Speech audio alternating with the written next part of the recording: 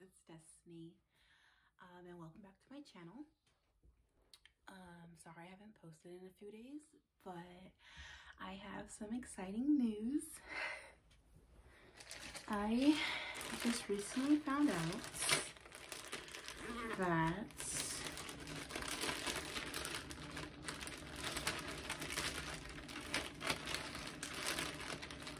sorry that um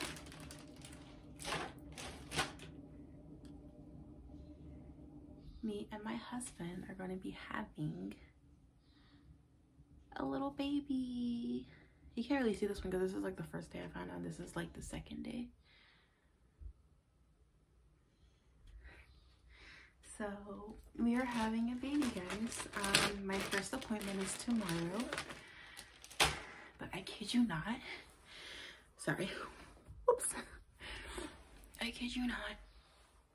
Since finding out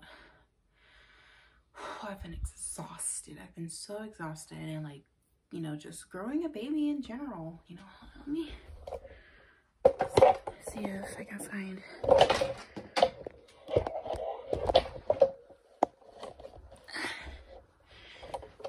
better lighting. Yeah, it's better. So yeah. so guys i'm just like so excited. Like you have no idea. Like we've been really really trying to have a baby. Um we just got married uh this past september september 25th of last year and we knew right away we wanted to have have a family. Um so since the wedding we literally have been trying to have a baby. So uh yeah. We got pregnant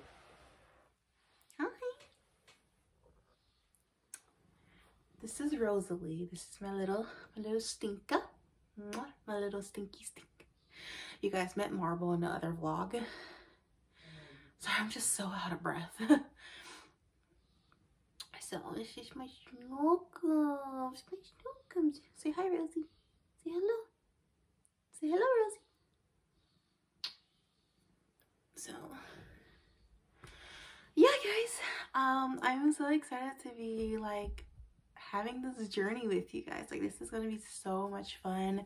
I'm going to be vlogging like what my pregnancy cravings are and you know, like let me know. Let me know in the comments like what you guys went through. Like your first, this is like my first baby, like my first, first, very first pregnancy. So it's a little nerve wracking, but you know, through Christ, you know, I am, we're to have a good time. We're to have a good pregnancy. We're to have a good transition.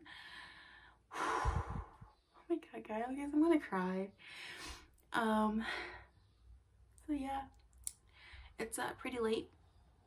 I am actually gonna my husband just finished making dinner. So excuse me another thing i've been having a lot of gas. I have so much gas. Um so my husband just finished making dinner. I'm gonna go probably eat dinner.